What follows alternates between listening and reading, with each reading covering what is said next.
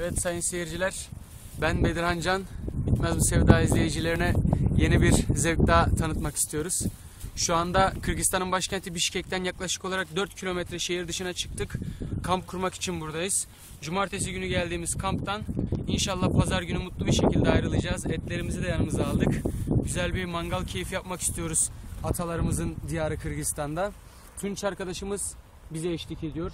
Bu tarafta Şahan arkadaşımız bize eşlik ediyor.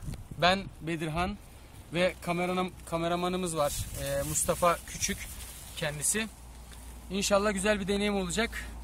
İlerlerde farklı videolarla sizlere bunu göstermek isteyeceğiz. Hoşçakalın.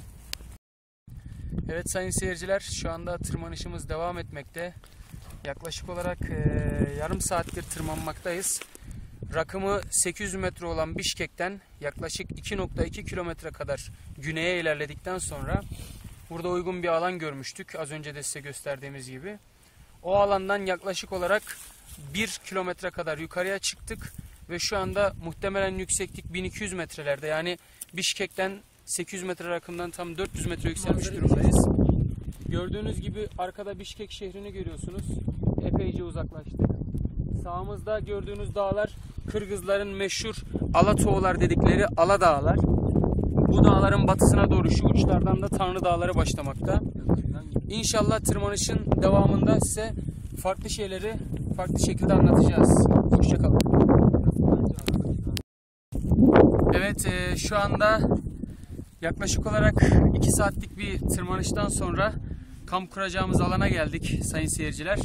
Şurada gördüğünüz gibi eşyalarımızı oraya koyduk. E, burada e, çalılarımızı topladık. Tekrar bu tarafta gördüğünüz gibi Alatoğlar çok güzel bir şekilde görünüyor sayın seyirciler. Şurada aşağıda ufak bir e, tuğla ocağına benzer bir yer e, gözümüze çarpıyor.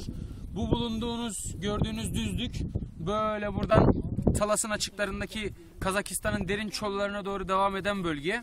Burada gördüğünüz gibi şu ileride Tokmak. Biz tahminen şu anda e, Zil denilen bölgenin civarlarındayız sayın seyirciler ve yüksekliğimiz tam 1400 metrede. Bu akşam burada çadır kuracağız. Bozkır olduğu için burası yani bir ormanlık alan olamadığı için e, ateş yakmakta ve yakacak e, malzeme bulmakta bunu gidermekte çok büyük zorluklar çekiyoruz. Bu yüzden daha fazla çalışmamız gerekiyor. Kamp ateşi kuracağımız yeri taşlarla çevirip e, ufak maki tarzı bodur çalılardan getirip burada onları yakarak ateş yakmaya çalışacağız. Kırgızistan'da Bişkek'te sizlere bir e, tırmanışı tanıtmaya çalıştık sayın seyirciler. Gelecek haftalarda önümüzdeki günlerde Karakol denilen yani Isık Göl adıyla da bilinen bir bölgeye gideceğiz. Orası tabii ki ormanlık olacak. Orada daha farklı deneyimleri sizlere tanıtmak için hazır bir vaziyette bulunacağız. Daha fazla ekipmanla, daha profesyonel bir vaziyette. Bizlere katıldığınız için, bizi takip ettiğiniz için sizlere çok teşekkür ederiz. Buradan Türkiye'ye ve bütün Türk dünyasına baki selamlarımızı gönderir. Allah'a ema- emanet olun deriz.